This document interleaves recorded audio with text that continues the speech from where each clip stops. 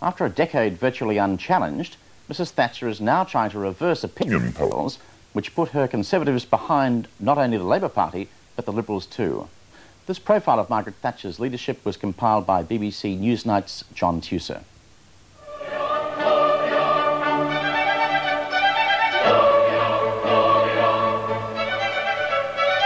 Margaret Thatcher's more than an image, a totem, a symbol. She intensifies politics. She acts as a catalyst. Her aim is to use her example to make the nation change its ways. She makes national drama out of great events.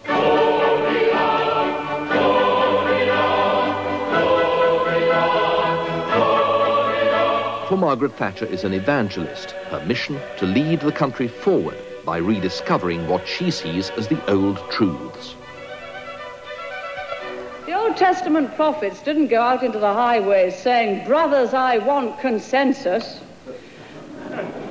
They said, This is my faith and my vision. This is what I passionately believe, and they preached it.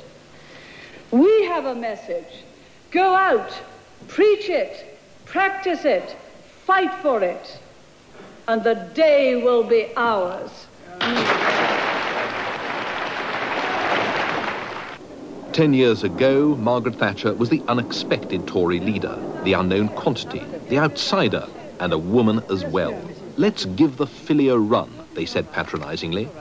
Her vision was unfashionable, simply because she talked of the country's need for one.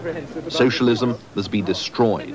In its place, the family virtues, individual responsibility, deeds, not words. It was easy for the smart political world and her contemporaries to underestimate her. Thank you. One of the most extraordinary things is the fact that Margaret Thatcher, as I knew her when we were young, is now Prime Minister.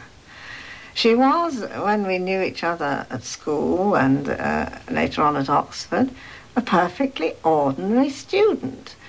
Hard working, not a lot of imagination, not a lot of sense of humour either and yet uh, determined to uh, get to the top as a politician. And I distinctly remember when we were all 21 sitting round our kitchen table, the end of a party, that she suddenly said, I now know what I'm going to do. I'm going to be a politician. I'm going to be a member of parliament. And from then she went ahead to do it. Mrs. Thatcher soon proclaimed herself a radical reactionary, reacting against almost everything the conservative Heath government, of which she was a part, stood for.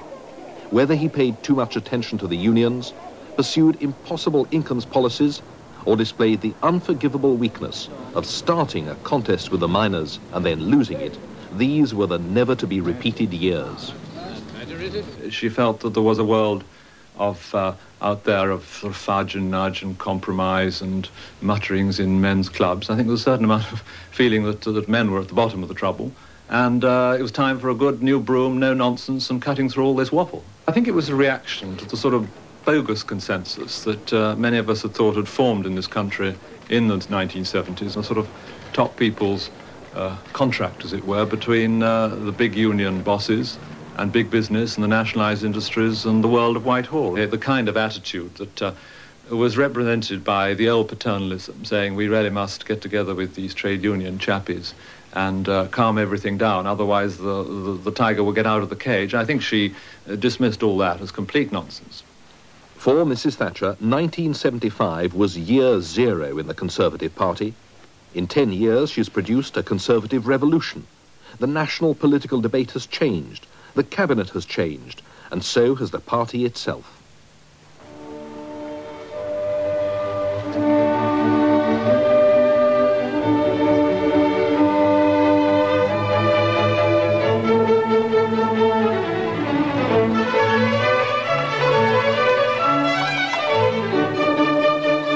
On the surface, such traditional and timeless supporters of the Conservative Party had nothing to fear. On the face of it, Mrs. Thatcher is the very leader they've long wanted. Her qualities, those they admire. I think we're very lucky to at last have found a politician with enough determination to uh, see a lot of troubled times through. Mrs. Thatcher is not from the Shires and has no time for the paternalism and patronage of the old landed classes. These people may own, but they do not earn. As such, they have no place in her heart, and the party is no longer theirs as it used to be theirs.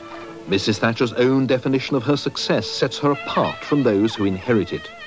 What I have and where I am, she said 10 years ago, is the result of continuous effort and the courage to take the next step. Her instincts turn naturally to the little man, the upwardly mobile.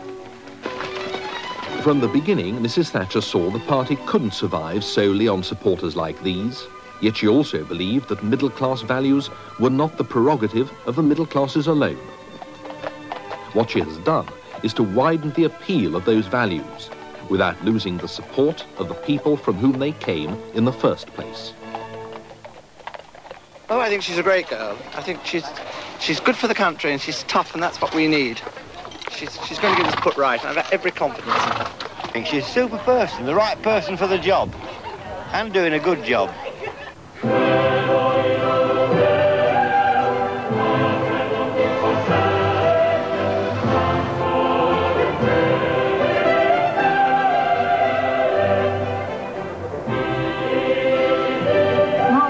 Uh, early was a very simple one with distinct um, rights and wrongs.